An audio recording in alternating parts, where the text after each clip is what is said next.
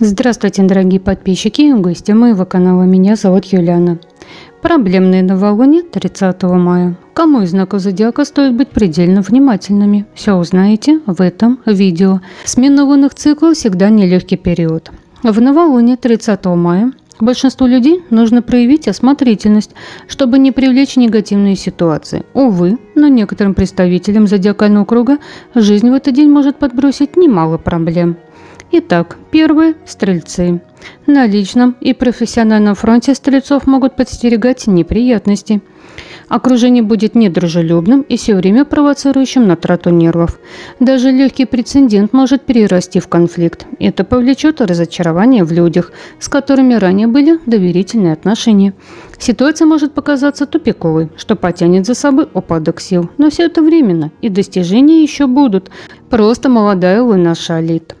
Следующие – это овны. Им, возможно, придется решать сразу множество задач. Это принесет внутренний раздрай. Внезапно свалившиеся дела помешают сконцентрироваться на текущих вопросах. Есть риск, что коллеги или начальство начнут критиковать не за расторопность. Но нельзя поддаваться на провокации. Это грозит нехорошим последствиям, в том числе потерей рабочего места. В личной жизни обстановка накаленная. Могут вспыхнуть ссоры с родными. Следующий – это рыбы. Стрессовый день, нервозность может спровоцировать срыв и ухудшение самочувствия, велика вероятность обострения хронических болезней и возникновения материальных трудностей. Если справиться самому будет не в моготу, стоит обратиться к близким людям, они протянут руку помощи. И последний знак – это водолеи.